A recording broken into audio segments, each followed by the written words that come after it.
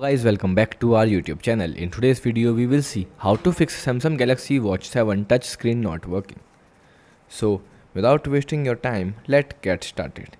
So the step one is to you do you can simple do a force restart of your watch. So sometimes a simple restart can resolve many outdated software issues. Okay? So to do a force restart you can simple press and hold the power button and the bottom button together until you see a Samsung logo on the screen. So once you see a Samsung logo, you can simply leave it as it is. It will take 2 to 3 minutes to restart your watch. Step 2. Charge your watch. Okay, so if your watch is on a low battery, it might be respond, it not respond properly. Okay, so you can simply let make sure it's charged okay so you can simple connect your watch with a official charger that you comes with a in a case and then you can simple place it at a backside of your phone. Sorry of your watch like this. Okay it's have a magnet it will automatically connect it. And then you can simple plug the one end to a power source. And then after you can simple leave it up to 30 minutes. So then after you can simple turn this on and then you will find your issue is resolved okay? Step 3 disable water lock mode. So check if your watch is not in a water lock mode. Because this feature disable the touch screen to prevent accidental touches when in water. Okay? Like when the water lock is turns on you will not do anything on your screen. Your watch will be completely locked.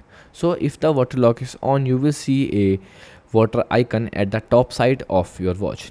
Okay? Under a power button to ensure to disable it, you can simply long press the power button up to 3 seconds and then it will turns off.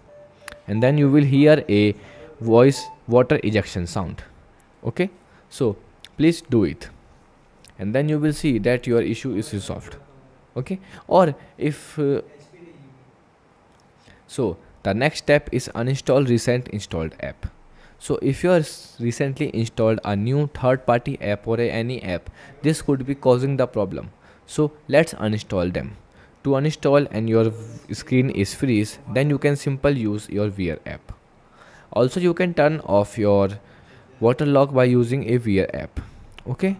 So in Wear app, when you open the Wear app and then you can simply click on watch settings and then find apps and then open it in apps you can simple select any reset installed app. Okay?